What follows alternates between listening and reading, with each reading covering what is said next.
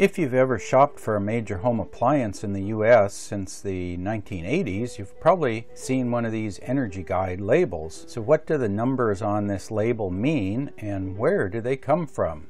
So a little history first. Energy Guide is a U.S. program. It's run by the U.S. Department of Energy, or DOE. So it was introduced in 1980. It's a mandatory labeling program for the listed appliances and it's just a basic statement of what the device will cost to operate per year.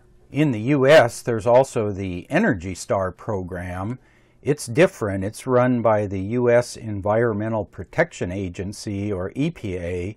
It was introduced in 1992 and it's a voluntary labeling program and the device must meet some efficiency threshold to qualify for an Energy Star uh, sticker. The Energy Guide program seems to also be administered by the Federal Trade Commission or FTC. So these are the original stickers. They were yellow background with black text.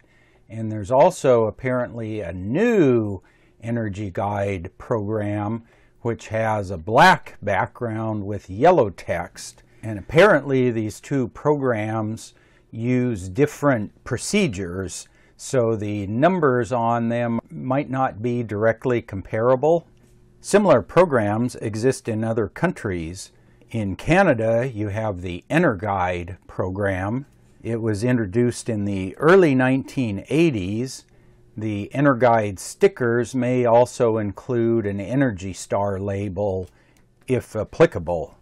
In Australia and New Zealand, you have the Energy Rating label it was introduced between 1986 and 1992, and it also includes some efficiency data or an indication of the appliance efficiency with how many stars up here are filled in.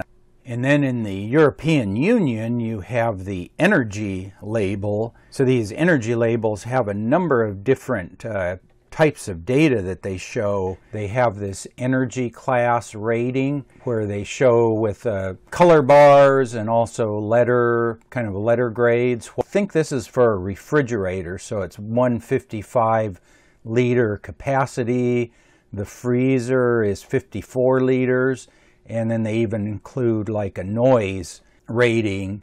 And then here's your kilowatt hours per year, I guess, for that refrigerator. And the uh, European Union energy label was introduced, I think, sometime in the 1990s. So there are lots of different labels for different countries. I'll only be looking at the U.S. Energy Guide label in this video. With the history out of the way, let's see if we can find out where the numbers come from that are on these labels. Each type of appliance will have its own testing guidelines. I'll only be looking at water heaters in the remainder of this video. My first search turns up this Department of Energy web page with a water heater energy calculator.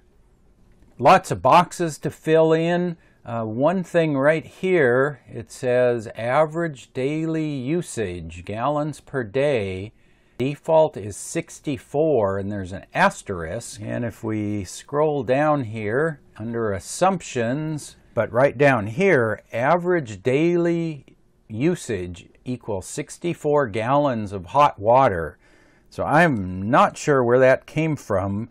Uh, no idea what size household that was for. For example, in the winter when my landscape watering is shut off, the water bill is under 30 gallons a day, and that's all water, hot and cold. And they're talking about average 64 gallons of hot water. So that's an important number. Keep that in mind.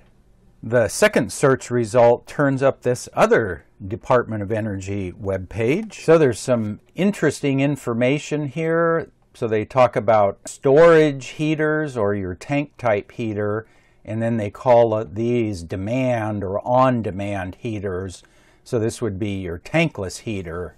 And they have some interesting information here on determining energy efficiency of storage, demand, And then there's also heat pump water heaters. So they have some interesting information here on how they calculate what they call the energy factor. So it seems that the recovery efficiency and the standby losses are the primary factors used.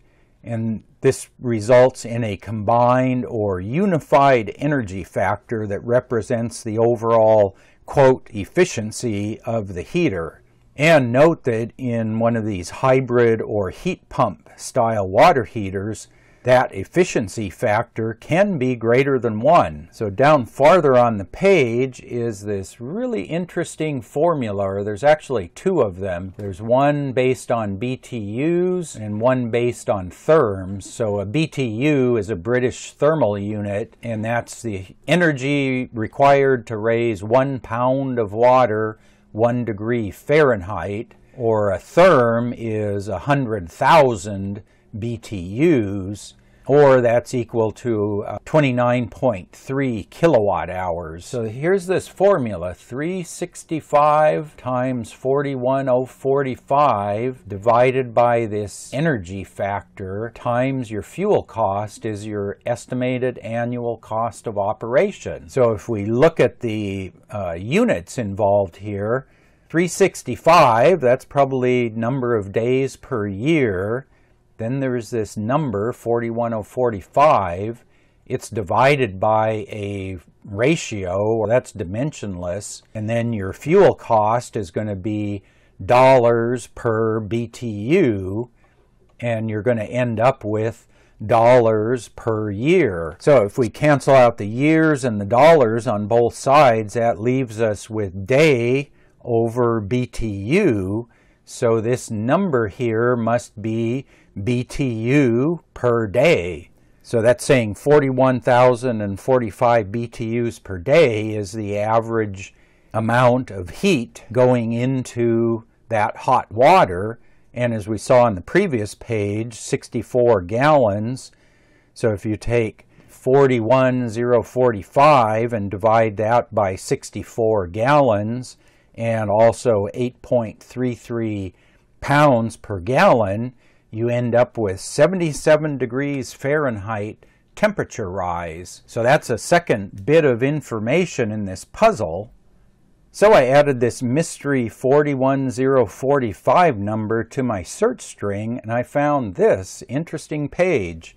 And I like his uh, comment here. This page is simply figures and calculations and is of limited interest. But I found this page terribly interesting because it has most of the rest of the information that we require to figure out those energy guide labels. So he has some mention here, different numbers, 44 gallons per day in a Canadian study. DOE assumes 64 gallons. Households use close to 70 gallons, hot plus cold, per capita in a large study. 55, 44, 20, 35. So somehow the DOE picked 64 gallons a day. Yeah, and then here's some other information. As I mentioned before, BTUs, gallon is 8.33 pounds. Uh, right here, temperature of groundwater varies from 35 to 77. 57 seems like a good average groundwater temperature. And then down here, the DOE test procedure assumes an inlet temperature of 58, so pretty close to the average groundwater temperature a set point of 135 Fahrenheit, which is really hot for hot water. And then here he mentions 64.3 gallons. The annual consumption is figured in therms at 41,045 BTUs divided by your energy factor times 365 over the 100,000 BTUs per therm, or 149.8, you call it 150 therms at 100% efficiency. And also, if you take uh, 135 minus 58, that gives you the 77 degree Fahrenheit temperature rise that we figured out earlier, so that checks. So let's take a look at the energy guide labels for the tank and tankless heaters and compare that to my actual numbers. So I didn't get the energy guide data off of my old tank heater, but this is the identical unit and I think this number looks pretty similar to what was on my old tank. The only thing that would be different, yeah, the old tank I purchased in 2000, so the dollars per therm would be different and this dollar amount would be different. The number of therms should be pretty close. So according to the energy guide label, I should expect to use 260 therms. I used 54 therms so that's about 21% of the estimated amount. If we look at the dollar amount, $284, I used $56.67, and that's about 20%. So those two check out, and then we can calculate the energy factor for this heater. If you take the 149.8 that was on the previous page, divide that by 260, you get 58% energy factor. So that's a combination of the efficiency of the gas burner and the heat loss due to the insulation on the tank. So how much heat do you lose over a day? And that total amount is 58%. Okay, this is the energy guide label off of my tankless heater. One might expect to see similar ratios with the tankless heater, assuming very similar hot water usage. So this one said 161 therms estimated yearly use. I used 9 therms, which is only 6% instead of 20%. Uh, estimated yearly cost 176 so my cost was $10.05 which is also about 6% but if you factor in the electricity which this label doesn't uh, include that brings it up to 8% $13.51 so that's about one third of what the tank heater results were.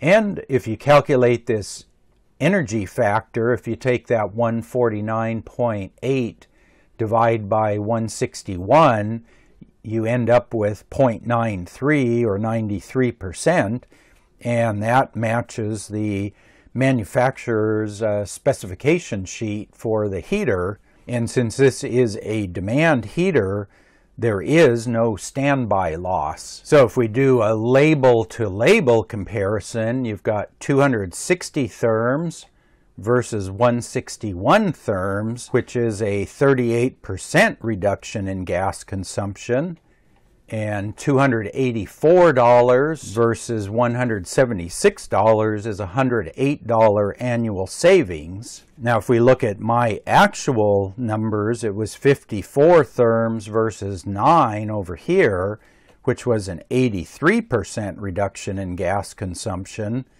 and 5667 versus 1351 was $43.16 annual savings. It looks like my results were all over the board. What sort of conclusions can be drawn? So I think the Energy Guide data is really only useful for comparing very similar heaters. So for storage heaters, I'll show you three different heaters that I found Energy Guide data for. This first one is the one I used above, and that's 260 therms per year. The second one is a power vent uh, or electronic ignition model, and it's 245 therms per year. So it has a slightly more efficient burner and no pilot light, and thus you save about 15 therms per year. This third heater is Energy Star rated, so you can see that Energy Star logo there. And this one has the better burner as well as much better insulation on the tank. And this one results in an 89 therm per year gas savings. And this heater also has a Wi-Fi and some sort of energy management interface called EcoNet. And then just for comparison, Here's an electric heater, so you're looking at much higher energy cost. A few other conclusions.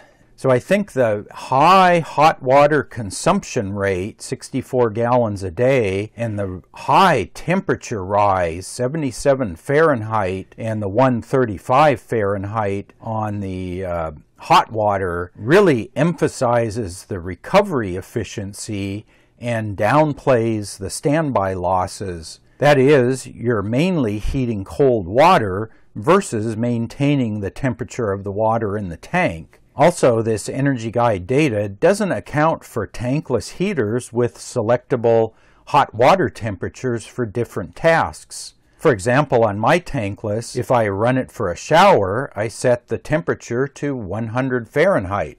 The incoming water temperature in the summer is 75 Fahrenheit for a temperature rise of 25 degrees compared to the 77 degrees Fahrenheit in the DOE test.